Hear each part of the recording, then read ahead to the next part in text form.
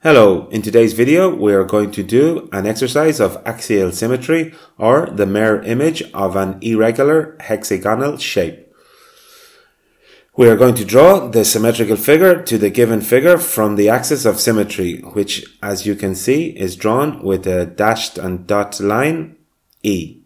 This is the universal symbol for an axis of symmetry. To draw the symmetrical figure of the irregular polygon, you see we have to locate the symmetrical points to each of the vertices of the given irregular polygon. So we start with vertex A and we are going to draw a perpendicular line to the axis of symmetry passing through point A. We mark with the perpendicular symbol. Then, with the compass, we will transport the distance from point A to the axis of symmetry on the right hand side of the axis of symmetry, obtaining point A prime. We will repeat this process with each of the rest of the vertices of the given figure. So F, we will draw a horizontal line, and now do the same with vertex B, vertex C,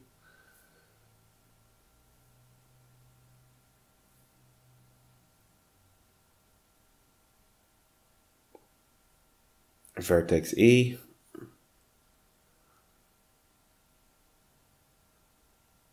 and vertex D. So now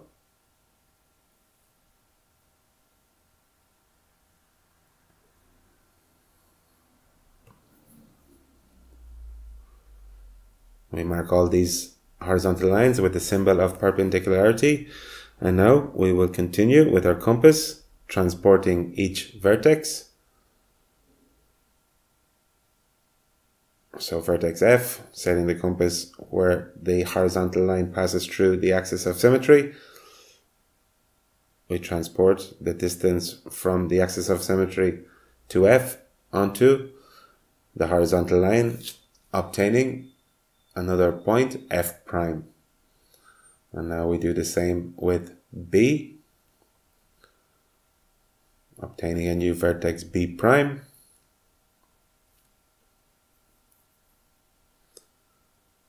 We continue this process with vertex C.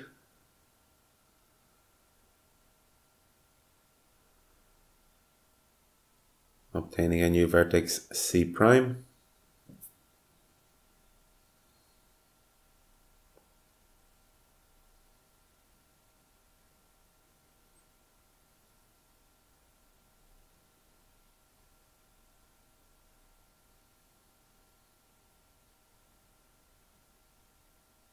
And again with vertex E we're going to transport it across the axis of symmetry onto the horizontal line obtaining vertex E prime.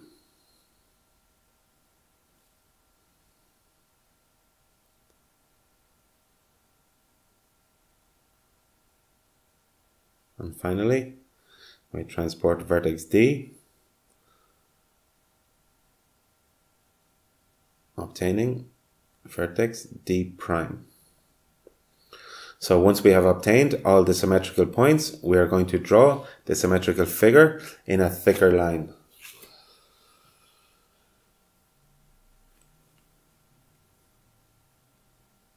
So we start with joining A prime to vertex B prime.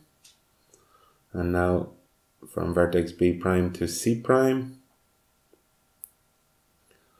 From C prime to D prime.